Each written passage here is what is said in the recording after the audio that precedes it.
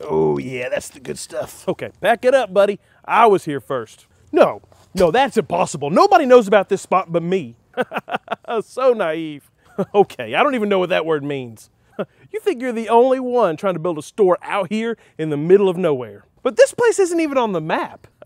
I know. Do people even live here? No more than five. It's perfect. Wait, wait, now hold on. What are you even doing here? We're expanding, baby. So that's where the extra 25 cents is going. Listen, nobody here wants your tiny little cereal boxes or DJ Tanner's autobiography. We've got a whole $5 section now, son. What? Hold on, does Five Below know about this? We got ice cream, ribeye steaks, hot pockets. Nope, back it up. Y'all got $5 steaks. Oh, no, no, no, of course not. Ooh, okay, good, because that actually scared me for a second. They're a dollar. Nope. No, that is disgusting. And that's actually saying something coming from him. I'm ruthless, boys. KB Toys should have told you.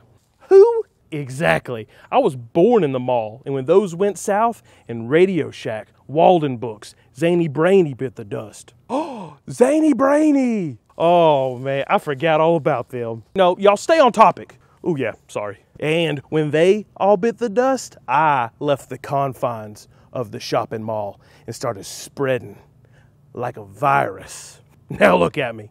I'm everywhere. Was that supposed to be scary? Well, yeah, mm, like a little bit. Yeah, see, I started an actual virus. Yes, that is true. It may have been COVID, actually. Jury's still out on that. Wow, okay. I mean, I prepared a speech and everything. Well, buddy, you got to try a little harder if you're going to scare us. We've seen everything. Excuse me, why are y'all in my yard? Sorry, we're, we're building a store here. Please don't do that. I tell you what, what if we do like a combo store? Ooh, yeah, I, I like that. Hold on. What what in the Clover Valley is going on here? One half has essential items at fair and reasonable prices, and the other half has tiny bags of potato chips from a brand you've never heard of before. This is not fair. Who, who am I supposed to team up with? I don't know. Maybe U-Haul? He could do something with all those boxes you got laying around in there.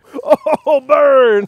yeah, air high five due to budget constraints. Okay, seriously, y'all have to go. Whoa, whoa, whoa, wait, wait. I have an idea. What if y'all do your little thing right here, and I build right over there. Nope, that's still my yard. I don't know, that's awfully close. Will people shop at both? Mm, no. Oh, what the heck, let's do it. Yes! Honey, the dollar stores are in the yard again.